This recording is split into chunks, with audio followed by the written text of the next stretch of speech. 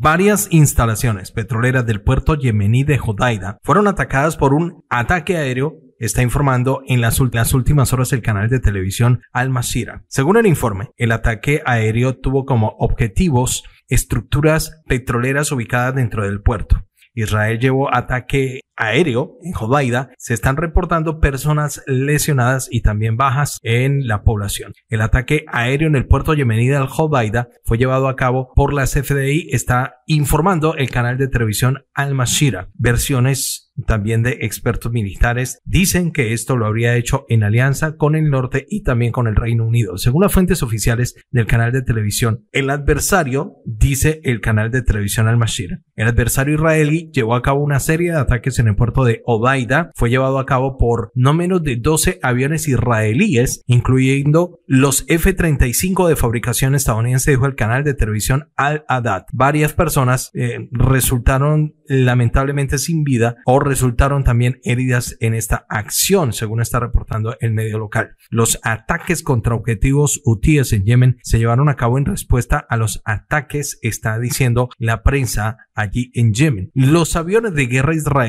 llevaron a cabo un ataque aéreo contra objetivos militares hutíes en la zona portuaria del Hobaida en respuesta a cientos de ataques contra el Estado israelí en los últimos meses, fue lo que dijo la oficina de prensa del ejército hebreo.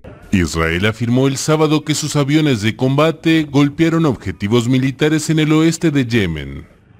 Varios bombardeos golpearon el sábado la ciudad portuaria de Hodeida, controlada por los rebeldes hutíes quienes reivindicaron la autoría de un ataque con dron el viernes en Tel Aviv. Hace un tiempo los aviones llevaron a cabo contraataques contra objetivos militares de Houthi en la zona portuaria de Obaida en Yemen en respuesta a cientos de ataques llevados a cabo contra Israel en los últimos meses, en lo que está diciendo el comunicado de la cartera castrense hebrea. El Ministerio de la Defensa israelí afirmó que los ataques hutíes en Yemen son una respuesta a las últimas acciones en Tel Aviv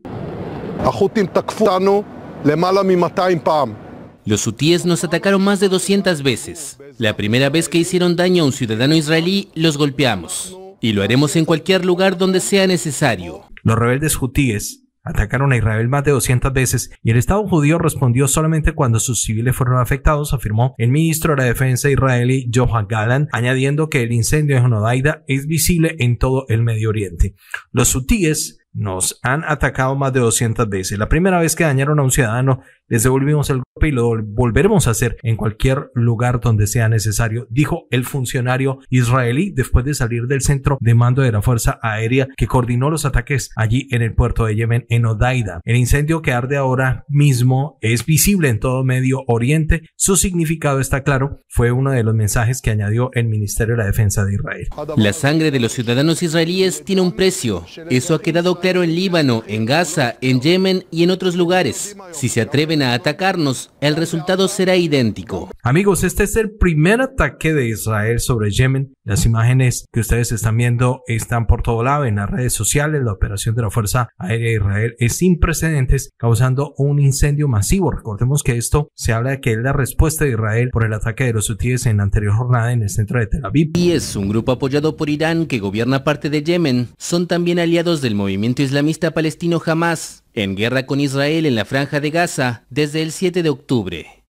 Desde hace meses han efectuado ataques contra buques en el Mar Rojo y el Golfo de Adén, según ellos en solidaridad con los palestinos de Gaza. Se dice que fue un dron que logró escabullirse de las defensas del Domo de Hierro y ahora la pregunta es, ¿quiénes se van a unir a los hutíes para responder? Irán, Rusia, Etnia, ¿quiénes o cuáles países son los que van a reaccionar? Porque después de esto, la escalada puede ser más impredecible en el Medio Oriente. La guerra en Gaza ahora está involucrando a nuevos actores. En este caso ya fue directo, el ataque de Israel a los yemeníes. Imágenes y videos que circulan por redes sociales muestran cómo las llamas enormes están cubriendo la infraestructura de la zona de la ciudad. Johan Gallant, ministro de la Defensa, dijo que el fuego que arde ahora en Yemen es el que arde en Medio Oriente y que está claro. Se entiende que atacar a Israel tiene un alto precio, sea en Yemen, sea Siria, Gaza, Líbano, entre otros territorios del mundo. Por lo tanto, muchos hacen énfasis, expertos militares, en que lo que puede pasar, amigo, pues esta es la primera vez que ocurre esto en la historia. Es de acotar que ahora Israel no tiene el frente con Gaza, con Hamas, sino que ahora se suma el de Líbano y el de ahora con Yemen. Vamos a ir a ver qué están diciendo en eh, Yemen. Allí están advirtiendo de que Israel debe esperar una dura respuesta a la agresión que cometió, es lo que está diciendo por aquí Hispan TV, que dice Funcionarios yemeníes y expertos militares citados por Al-Masira alertaron que el enemigo Israel abrió las puertas del infierno con su agresión contra Yemen. El miembro del Consejo Político Supremo de Yemen, Muhammad al-Bahiti, advirtió a la entidad eh, israelí con pagar el precio de atacar una instalación civil. Nos enfrentaremos a una escalada con otra escalada, aseguró. En este momento, el portavoz del movimiento popular yemení, Ansarullah, Mohammad Abdel Salam, expresa que esta acción israelí dirigida a las instalaciones civiles, tanques de almacenamiento de petróleo y la central eléctrica del Hodeida tiene el objetivo de duplicar el sufrimiento yemení en medio de su apoyo al pueblo palestino en la franja de Gaza. Presionar a Yemen para que deje de apoyar a Gaza es un sueño que no será realidad para el enemigo ha sentenciado. Un miembro del Consejo Político Supremo de Yemen, Muhammad Ali al-Houthi, manifestó que los bombardeos israelíes unen al pueblo yemení y habrá en las próximas horas ataques más efectivos contra Israel. Al-Houthi señaló que la acción cometida por Israel no habría ocurrido sin la alianza del norte y del Reino Unido y esto no hubiera sido la participación en esta ofensiva, subrayando que esta acción de Israel no impedirá seguir apoyando a Gaza, más bien aquí habrá operaciones de respuesta que perturbarán la entidad provisional allí en Israel.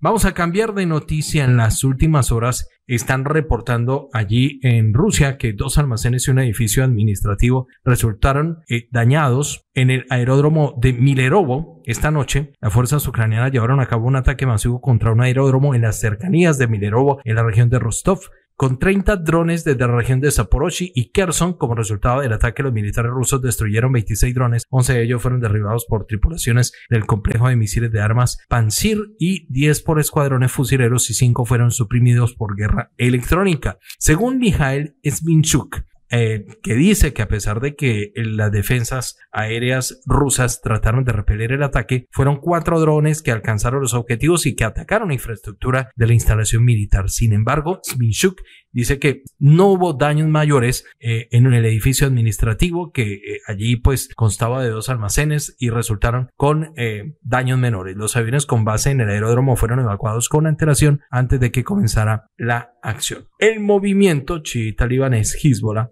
ha lanzado alrededor de 45 cohetes contra el norte de Israel en el espacio de una hora están informando en las últimas horas las fuerzas de defensa de Israel. La primera andanada de los 30 misiles apuntó hacia los altos de Golán y vino enseguida ataques a la Galilea Occidental y Alta Galilea. Algunos de los cohetes fueron interceptados, otros impactaron en zonas abiertas. No se registraron bajas a causa de los ataques, está precisando el organismo militar en las últimas horas.